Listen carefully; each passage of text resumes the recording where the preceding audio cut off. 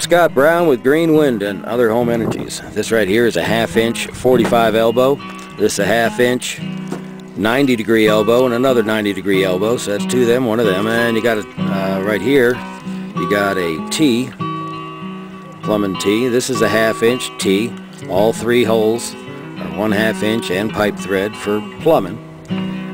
Uh, these three uh, nipples right here are uh, two inch by half inch, I mean half inch by two inch, half inch by two inch, and half inch by three inch. Then uh, we got a half inch to quarter inch coupler and a half inch to 3 eighths inch coupler. And this right here is one of the caps off the end of the longer pipe. This one here is one half by 18 inches and that's going to be for the tail and this one is one half by 24 inches or two foot. And that's going to be for the that's going to be for the part that goes down inside the tower. Okay and then I want to take a video over here. Am I aimed at it right?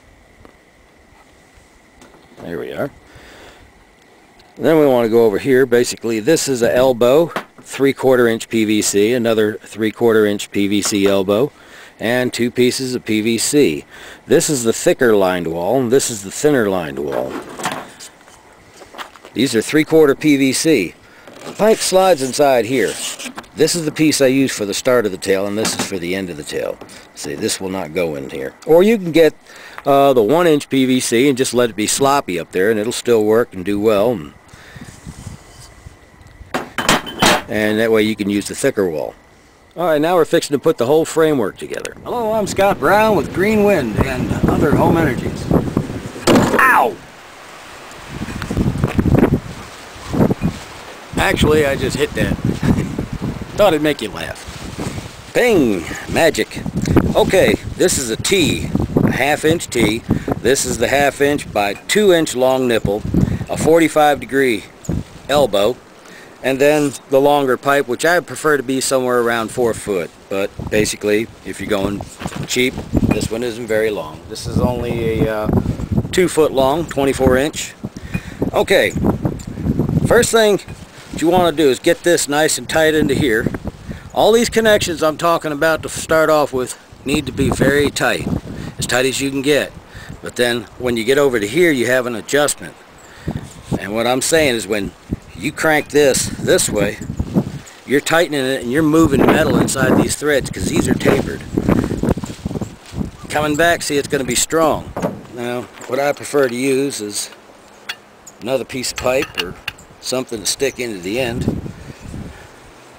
And you can do a lot of torquing on this. Now watch, once this comes loose, I spent a while getting this there. But now you see, now it's loose. It's going to be real loose. This metal is now moved. It's no longer tight here. I have to pass the point where I was. Now, if I pass the point right here, now I'm strong, but I say, okay, I want to take it back. Guess what? It is now loose. The best thing to do is crank this all the way around. And when you're done, you want to tack weld right into the joints on each one of these. You want to tack weld real good. This is not the way the tail should be. I'll show you in a couple pictures from a friend of mine. Anyway, so I'm going to crank this in a little tighter so I got some stability. This one, okay, this is not going on right now. Alright, anchor it up on your leg, pull her up. Alright, now I'm going to look at this. If I'm going to have my motor and stuff on the right side, I could use this right now. Now I have to go around at least a half turn so I get these to line up. Basically, these ain't tight enough anyway. So, works real well.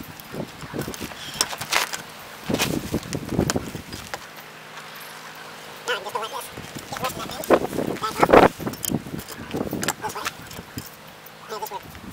Please. Now I'm going to go for my adjustment. Take it. Now I'm going to go for the adjustment. Take it back. Now I can see that this piece is not going exactly straight up. So it's tilted back the way I want it to be. This is what I want. If this is straight down, I don't want this to be exactly parallel. I want it to come up a bit. This keeps your blades away from your pole, plus the wind. Doesn't go straight across. It comes down, just a little. Anywhere three to five degrees. I'd say that's pretty optimum. Now I'm going to take all this off.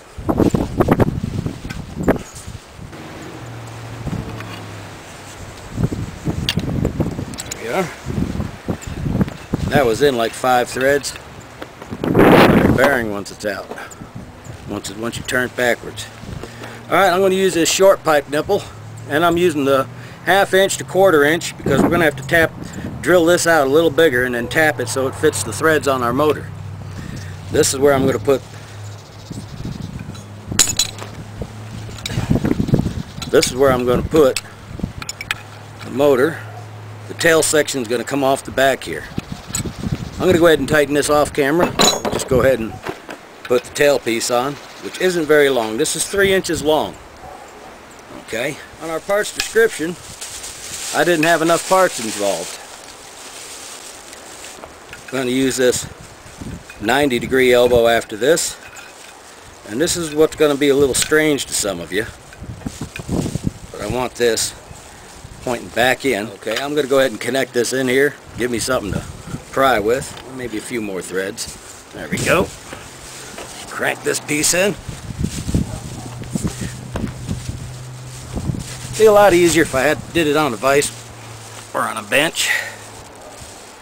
Anyway, I've got this in the angle I'm going to put it to. I'm going to go around one more crank, but I'm not going to do that on camera. And then uh, I'm going to definitely, I'm going to weld that joint, that joint, that joint, and that joint. The one to the motor is not going to matter.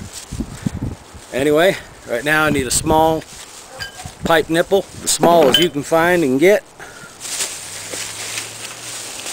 And that happens to be this jewel right here.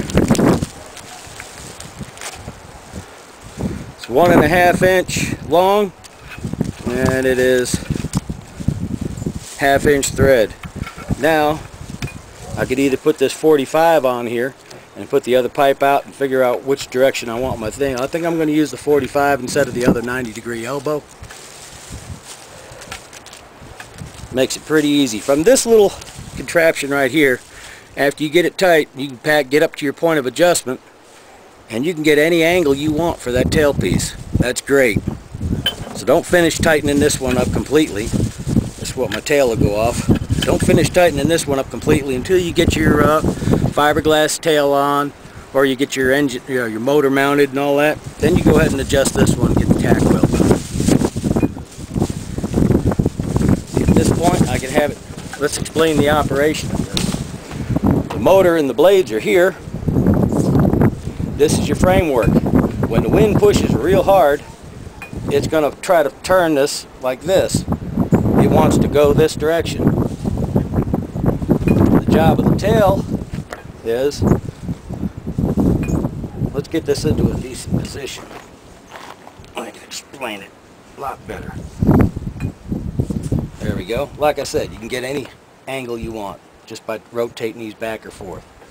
So if I want this in a 45 and I found it in a 45 when the tailpiece is on, the wind pushes this, tries to make it go like this, but the wind is still keeping the tail this way. But as you can see, this is now at an angle and what it does, it hinges and makes that tail rise. So the length and the weight of the tail is what keeps it into the wind. When the wind dies back down a little bit, the weight of the tail pushes it right back into the wind. I'm Scott Brown, Green Wind and Other Home Energies. So here's the profile of it, looking at it from your view. The blades will be here. And notice this is tilted back. All this tack weld here, here, here, these two especially. Because if this turns, it comes down and your blades bite your poles. You really want to tack weld these two. And tack weld these just to keep them straight when you're done. Anyway, I'm Scott Brown, Green Wind, and other home energies.